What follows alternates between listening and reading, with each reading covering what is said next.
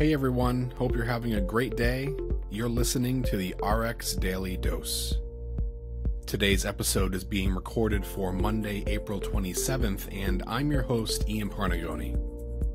We update this podcast every week for healthcare providers, medical professionals, and anyone who has an interest in drug updates. Don't forget to like, share, and subscribe on all your favorite podcast platforms and social media, including iTunes, Spotify, YouTube, and Instagram. All links can be found in the show notes below. This week, we have updates for you from the FDA for approval of Pemazyre for the treatment of cholangiocarcinoma and new indications approved for Imbruvica and Trodelvy. We'll also be giving an update on the coronavirus epidemic and flu season to date. Let's get started with the first one. The FDA granted accelerated approval to pemigatinib, which goes by brand name Pemazyre, the first treatment approved for adults with certain types of previously treated advanced cholangiocarcinoma.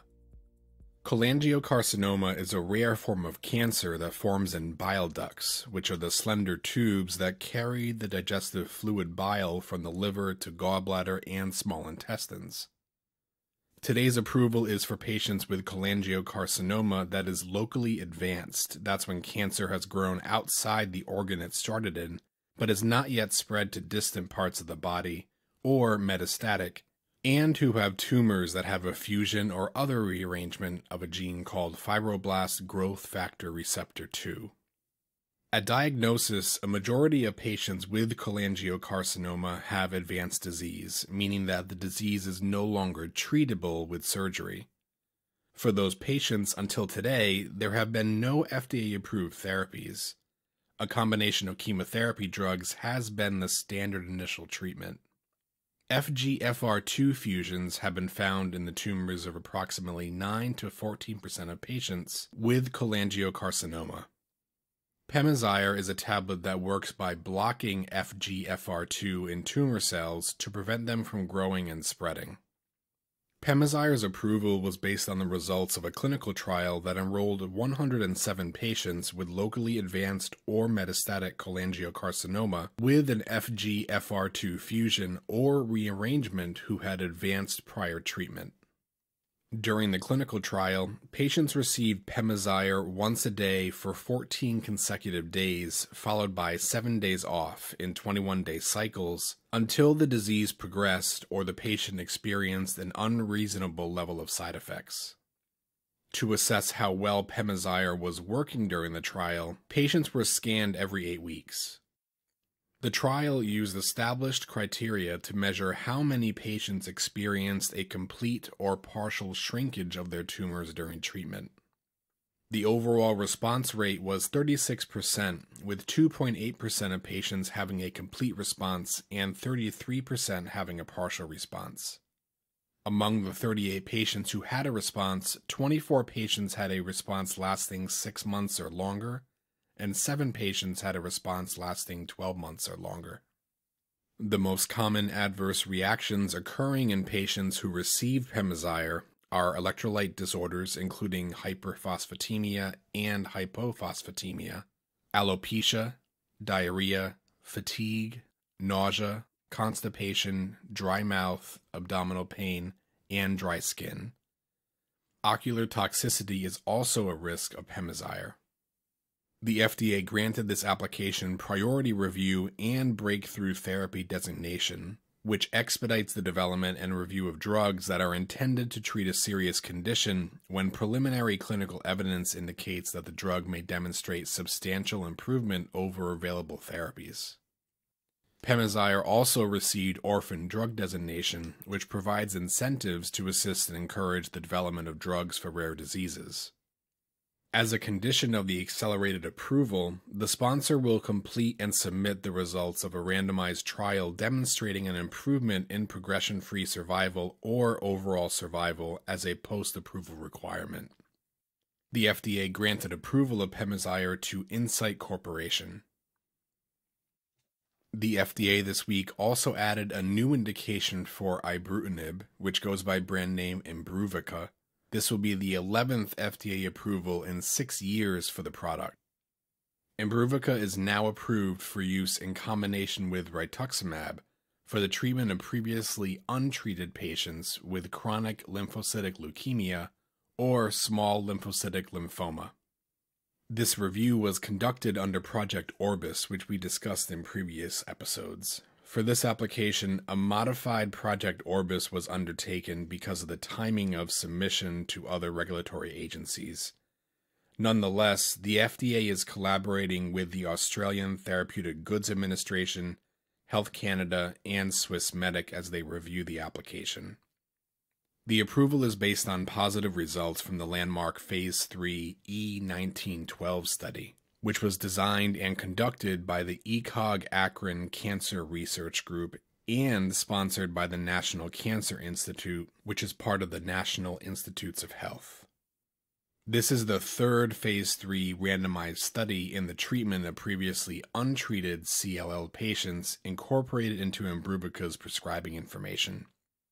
The E1912 study demonstrated previously untreated patients with CLL lived longer without disease progression, as measured by progression free survival, with Imbruvica plus rituximab compared to those treated with the comparator of fludarabine, cyclophosphamide, and rituximab.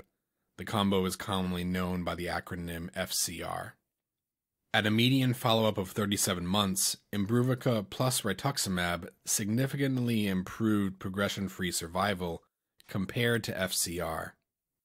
Extended follow up results from the E1912 study were most recently presented in the session at the 2019 American Society of Hematology annual meeting. The most common adverse reactions in patients receiving Imbruvica were thrombocytopenia, diarrhea, fatigue, musculoskeletal pain, neutropenia, rash, anemia, bruising, and nausea. The recommended Imbruvica dose is 420 milligrams taken once daily. The FDA this week also granted accelerated approval to sacituzumab, which goes by brand name Trodelvy, for the treatment of adult patients with triple negative breast cancer that has spread to other parts of the body patients must have received at least two prior therapies before taking Trodelvy. Trodelvy is a TROP2 directed antibody and topoisomerase inhibitor drug conjugate, meaning that the drug targets the TROP2 receptor that helps the cancer grow, divide, and spread, and is linked to topoisomerase inhibitor, which is a chemical compound that is toxic to cancer cells. Approximately two of every 10 breast cancer diagnoses worldwide are triple negative.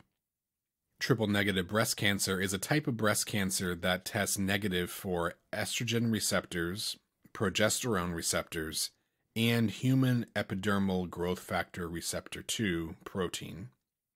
Therefore, triple negative breast cancer does not respond to hormonal therapy medicines or medicines that target HER2. The FDA approved Trodelvy based on the results of a clinical trial of 108 patients with metastatic triple negative breast cancer who had received at least two prior treatments for metastatic disease. The efficacy of Trodelvy was based on the overall response rate, which reflects the percentage of patients that had a certain amount of tumor shrinkage. The ORR was 33.3%, with a median duration of response of 7.7 months. Of the patients with a response to Trodelvy, 55% maintained their response for six or more months, and 16% maintained their response for 12 or more months. The prescribing information for Trodelvy includes a boxed warning to advise healthcare professionals and patients about the risk of severe neutropenia and severe diarrhea.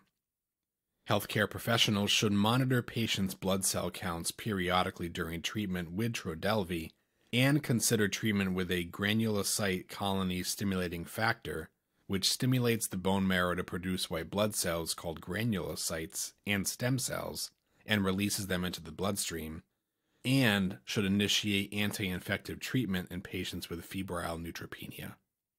Additionally, healthcare professionals should monitor patients with diarrhea and give fluid, electrolytes, and supportive care meds as needed. Trodelvy may need to be withheld, dose reduced, or permanently discontinued for neutropenia or diarrhea. Trodelvy can cause hypersensitivity reactions, including severe anaphylaxis. Patients should be monitored for infusion related reactions, and healthcare professionals should discontinue Trodelvy if severe or life threatening reactions occur. If patients experience nausea or vomiting while taking Trodelvy, healthcare professionals should use antiemetic preventative treatment to prevent nausea and vomiting. The most common side effects for patients taking Trodelvy were nausea, neutropenia, diarrhea, anemia, vomiting, decreased appetite, and abdominal pain. Trodelvy was granted accelerated approval, which enables the FDA to approve drugs for serious conditions to fill an unmet medical need based on a result that is reasonably likely to predict a clinical benefit to patients. Further clinical trials are required to verify and describe Trodelvy's clinical benefit. The FDA granted this application priority review and breakthrough therapy designation, as well as fast track designation, which expedites the review of drugs to treat serious conditions and fill that unmet medical need. And finally, for you this week, an update on influenza and coronavirus. For influenza this year, the CDC now estimates that in the US so far this season, there have been at least 39 million flu illnesses, 410,000 hospitalizations, and 24,000 deaths from the flu. 169 deaths have been reported in children. Nationally, flu activity is now low, with only eight states now reporting high or very high activity still. For coronavirus, and these numbers are as of Sunday, April 26th, the coronavirus death toll rose to 205,656. That's up almost 25% since last week. And the number of confirmed infections rose to 2,965,711 worldwide. That's a 24% increase over last week. The United States now has almost 1 million coronavirus infections, and there are now 54,941 confirmed deaths from the coronavirus in the US. We'll keep you updated every week as things continue to evolve with the spread of the coronavirus. And that's all I have for this week. I hope you enjoyed today's episode. I'll include all links in the show notes below, so please go back and check those out too. Please connect with me on any of your social media platforms and give me feedback on what you heard today. I'd love to know what you thought about the episode. And as always, feel free to like, share, and subscribe wherever you listen to your podcasts. And thank you so much for tuning in. I hope you enjoy the rest of your day.